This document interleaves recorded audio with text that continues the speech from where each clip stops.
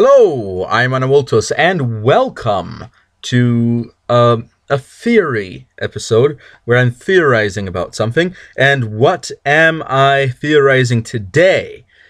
I am theorizing about none other than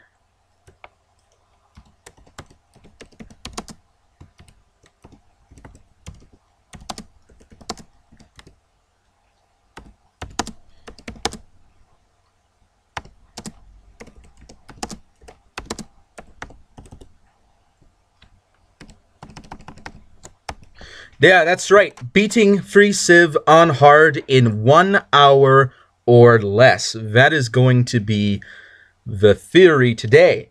And now I have to be honest, when I first saw someone suggesting that I try this in the comment section on one of my videos, I thought my first reaction was that is asking the impossible. You can't do that. That's not possible.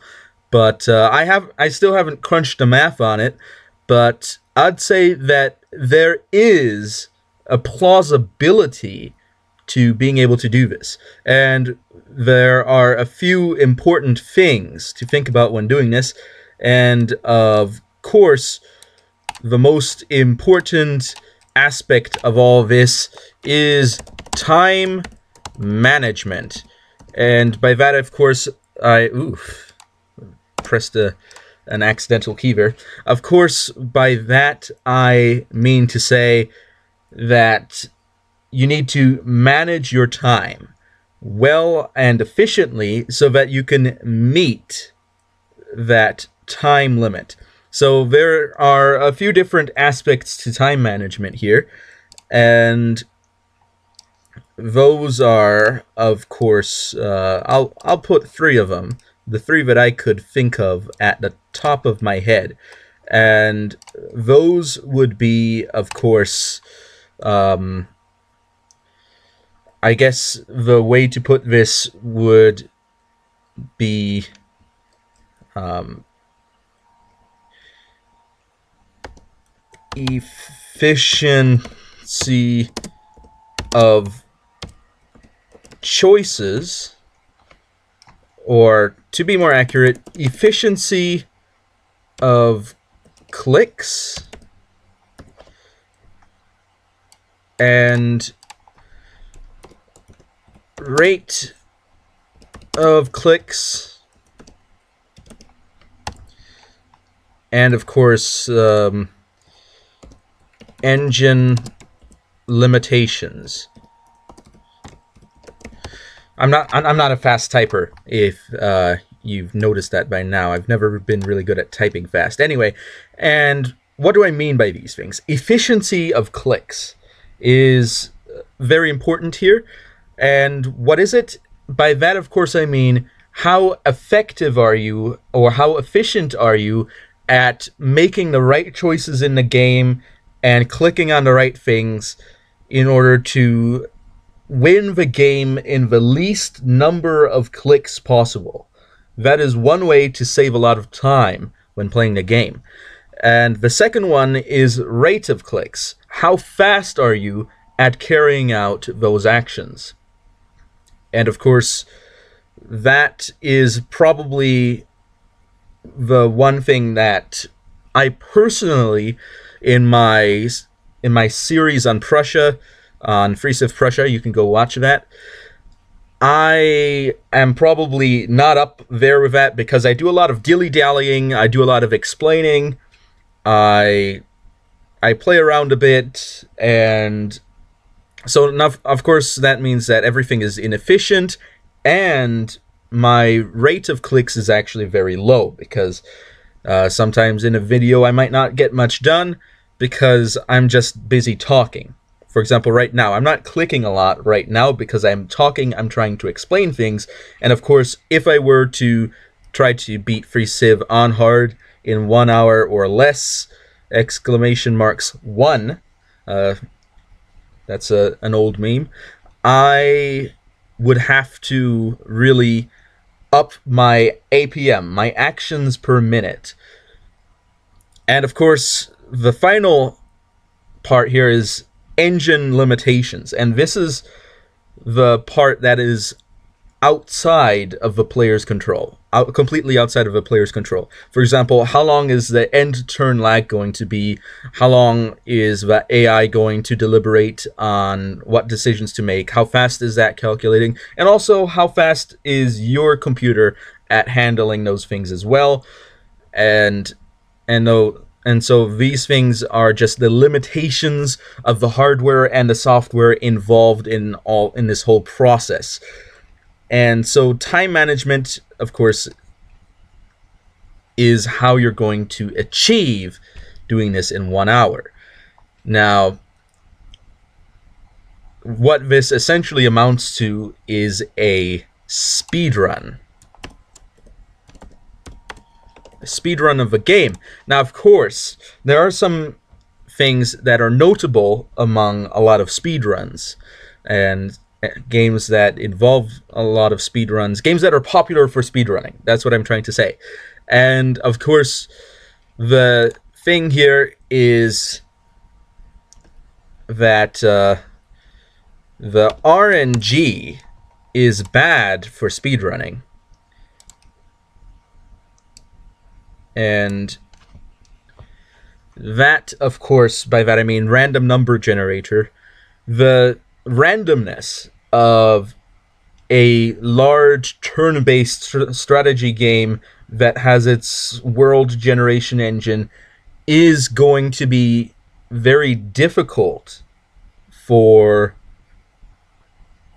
uh, a player to adjust to if the player wants to really make things work with that. So, uh, by that I mean, of course, that randomness is very difficult for speedrunners to deal with because a lot of times a lot of games require a certain pattern in order to solve but if there's a randomness it means that you have to focus just that much more in, in order to overcome that randomness in order to make sure that you can win the game in a reasonable amount of time, or to be more accurate, in a completely unreasonable amount of time. That is completely unreasonable. Honestly, one hour on hard, come on.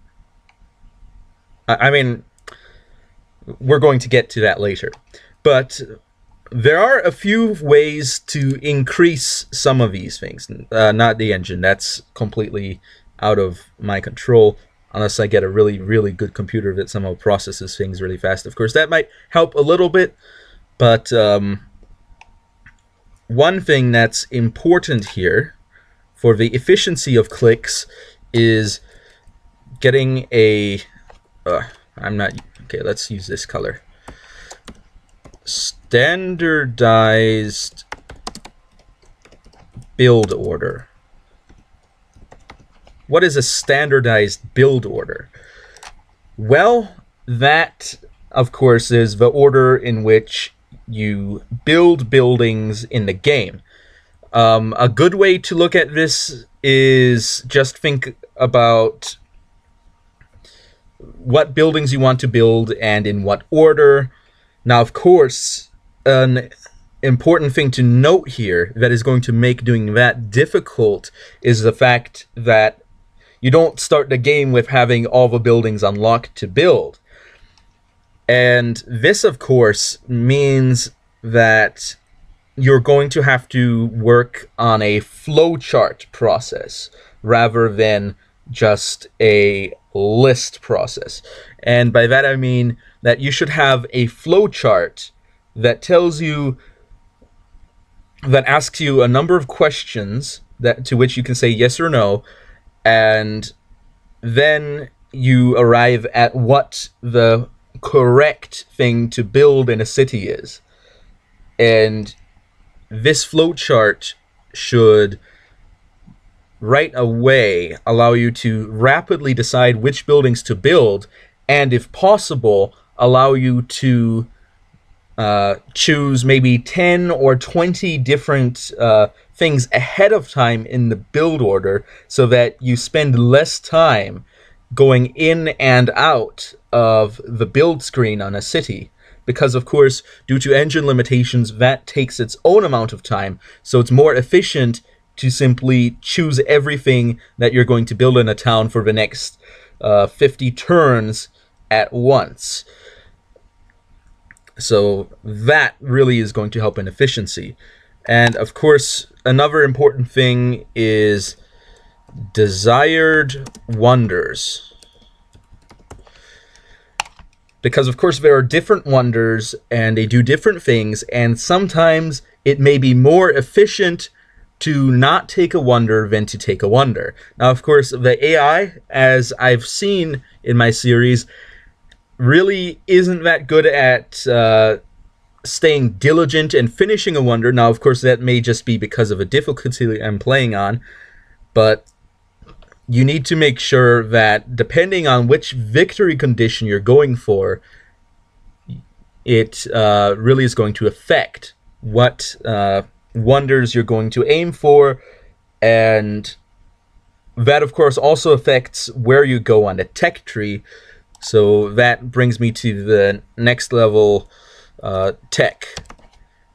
You need to, or to be more exact, tech order. You need to be able to choose uh, which technologies are the best to go for. Now, this is actually going to be a little bit easier than doing the the build order with a flowchart because you can already ahead of time see all the technologies. Now, of course, that being said, you, as far as I know, you can't just queue up the whole tech tree by going down different paths. That's not a function in the game but uh, you should be able to make goals in the tech tree as to where you're going to go next and that is going to be very important and also in which order you're going to attain certain key techs in which order are you going to uh, have technology goals and that can be just a straight up list of uh, technology goals that you can write. And of course, the one thing that is going to mess you up here is that, of course, there is some randomness to the game, and in some situations, you may want to go for a certain tech sooner rather than later if uh, certain situations arise. Therefore, uh, it's important to have a list, a, a, standardized order in which you're going to go for all the techs, but leave open the possibility for an eventuality that is going to force you to change that order and be prepared to do that and know how you're going to deal with that when that arises. So that is really going to be an important thing. But one thing that I think we've really skirted around is, of course, goals. And by that, I mean the victory condition.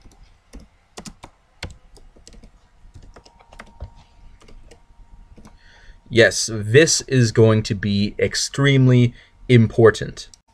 Okay, so there's three different ways to win Freeciv. So one is, uh, I would call it the conquest where you take over all the cities and destroy all units from every other civ, which uh, is possibly achievable. Uh, the other one is technology. The technology victory. You launch your spaceship and you automatically win. This one is, of course, focused very much on doing a lot of research and the final one is the time victory, in which you win once all the turns in the game have ended. So, uh, um, unfortunately, I would say that this one is out of the question uh, because I don't know how fast the game uh, can end turns, but I would say that if you're going to play a game where you're getting a good score, so you need to have enough efficiency of clicks and rate of clicks in order to both get a good score and end turns fast enough so that within one hour the game has completed and you have the top score then you win. I think that there i don't know if that's possible to be honest. I don't think it is. Um, it would be very difficult to do. So because of engine limitations and also uh, the fact that you only have one hour to work with uh, in order to have good efficiency, I don't think that that's going to work. Now, the conquest and the technology victories, there's some things to keep in mind. There's two different ways to play a game and get victory. There's um, the short path, the long path, and the balanced path. Now, what do I mean by this? What is the short path? Well, the short path is if you cram everything you can right away into uh, whichever victory condition you're looking for, which means uh, you, for example, you build tons of military units as fast as you can, um, while also still trying to build cities and get technology so that it, you can actually kill enemy units. Uh, so that would make the short path very difficult for anyone to do um, who wants to go for a conquest victory because it means that you're not building a lot of city improvements, you're not uh, building a lot of tile improvements, you're not getting as much research. It's probably a bad idea to go the short path for conquest or the short path for technology uh, in just trying to get to tech right as fast as possible. So the short path is probably a very bad idea, even though we're trying to save time. Burning out your Civ right away probably is not the way to go about it. So what is the long path? The long path uh, also can be defined as the uh, path of uh, two phases. You have two phases in this path. There's the production and consumption. So what do I mean by this? By this I mean that the first of the two phases in the long path production is that you try to produce uh, all the things that are necessary to win, but you're not actually actively seeking to win right away.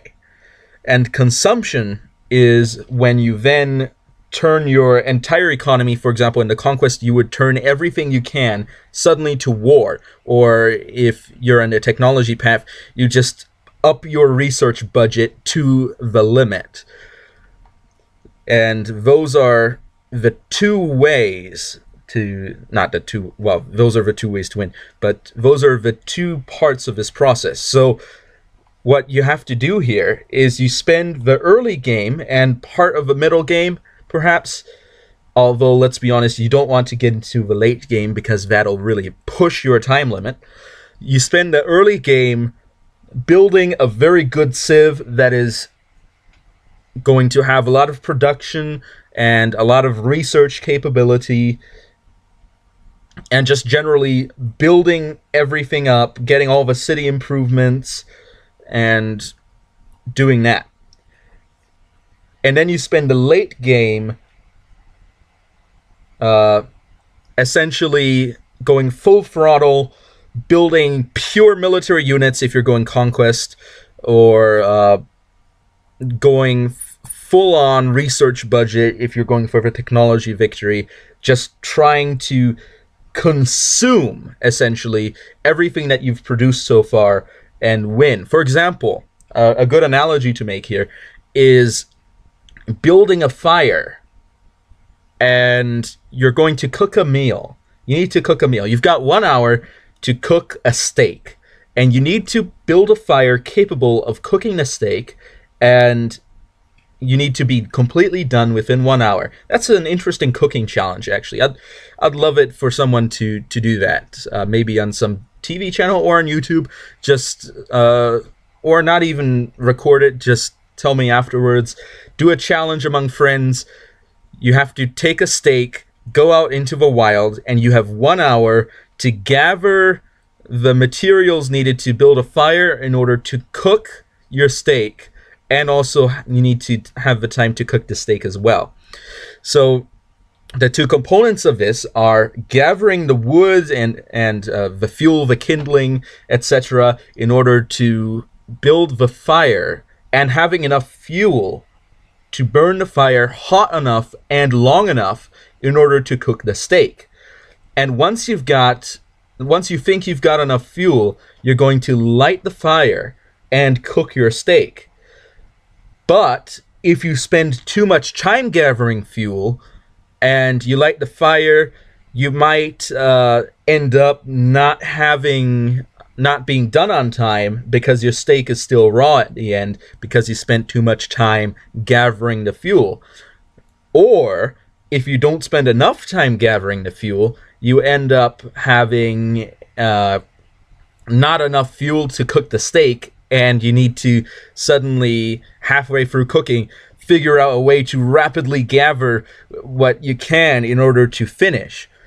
And that's what I'm talking about production and consumption. You you produce the pile of wood to burn and then you consume it in fire and at the end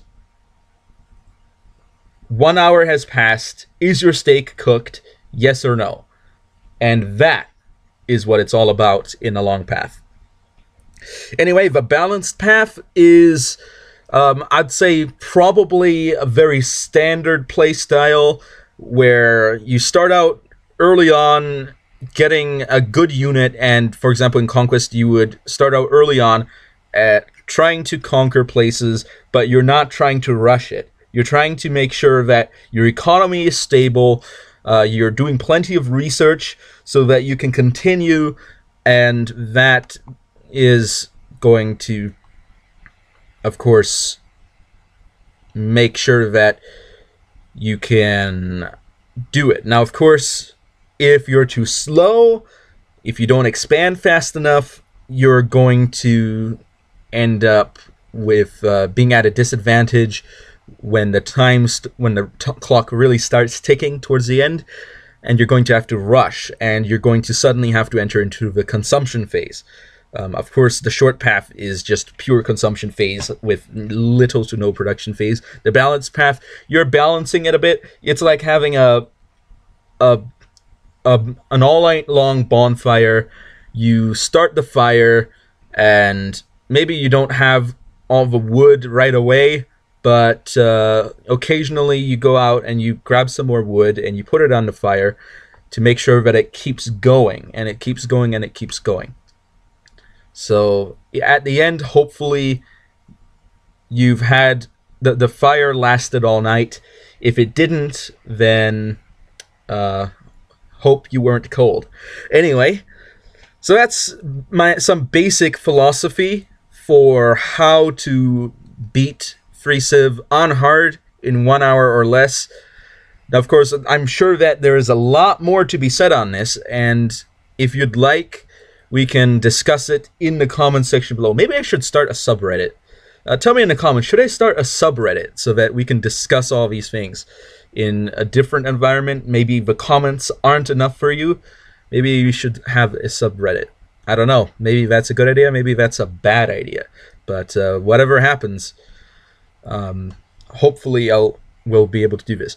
Now, what about all this? Why go through all this? Am I actually going to try this?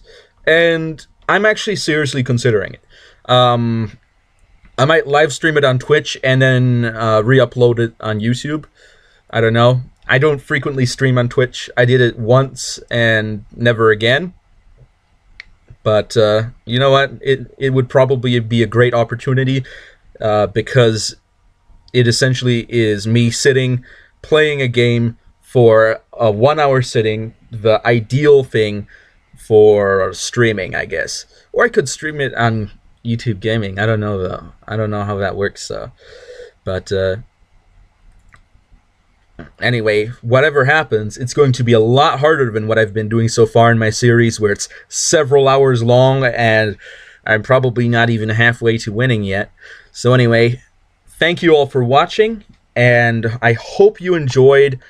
I hope that this has been enlightening, and I hope this has been thought provoking, and I hope that uh, there will be plenty of other ideas out there to help in uh, thinking about ways to win this. Now, of course, as I've said, I still haven't done any on the math on this. I haven't made any flowcharts. I haven't made any orders in which to do things. But uh, whatever happens, um, wish me luck. Uh, if you would like to try doing this, I wish you luck. And thank you all for watching, and I will be seeing you all next time on Anavultus Over and out.